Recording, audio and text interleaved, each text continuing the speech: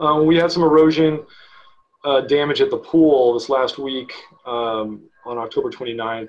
We, due to some of the erosion at the creek, part of the cliff just outside the uh, the top pool um, fell down and, and took out a chunk of our fence and a chunk of our concrete and um, damaged some of our irrigation.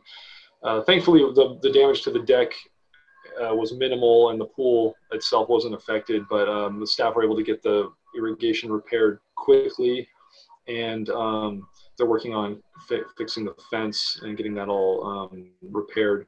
But we did lose a big chunk of earth and um, erosion continues to be um, an issue uh, around the pool complex and um, something we definitely want to continue to, to look at and mitigate. So maybe not question but comment given the erosion damage um, i would advise and i'm sure you you have it on your radar to uh, really develop a proactive plan to deal with the erosion issue around the pool given the fact that it's such a um, pricey um, infrastructure a piece of infrastructure we have and also a source of um, you know revenue for us and, and fun for the community. So um, it will be critical to save the uh, property around the pool and um, I know we'll have to redo the tot pool eventually because of the zero entry issue. Um, so as soon as we touch the deck, we'll have to, you know, bite the bullet and and um,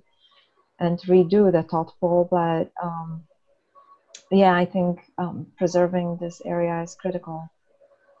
Absolutely, and fully agree. And um, we have we have worked with some of the members of uh, the STRAW program and getting some guidance on on plantings that can be done in the area to shore up the creek, as well as being to look at um, some other agencies and you know forming a group that we can kind of continue to to look at possible repairs and and you know whatever we can do to mitigate uh, further erosion there. So, but I fully agree.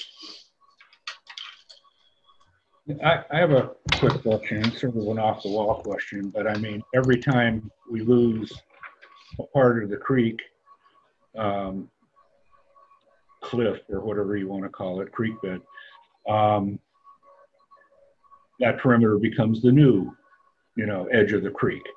Is there any possibility of moving back and starting to do some sort of terracing situation to protect the pool? um, without getting into the whole, um, you know, compliance issues with what you can do next to a creek. I, I just, it's pretty close to the edge, isn't it, right now? Um, yeah, certain certain aspects of the facility are are uh, dangerously close to the edge or, or a little too close for comfort. I don't think they were that close back when the facility was built. I think we've we've lost a lot of land over time. Um, so yeah, I, I, think it's a tricky spot because of how close it is to the creek um, in terms of what can be done, and we'll we'll need to explore those options. I, I don't know the answer to that off the top of my head in terms of um, any in the meantime anything that could be done that wouldn't involve uh, you know get, getting some permissions and bringing in some right some bodies. Yeah. You know? Now this zero entry pool is this going to sit in the same exact foot, footprint as the existing pool? Oh, I would say definitely not. We we we would um, want to move um, the pool much much farther away from from the uh, from the edge. Um, okay, that's what I was hoping to hear. Good.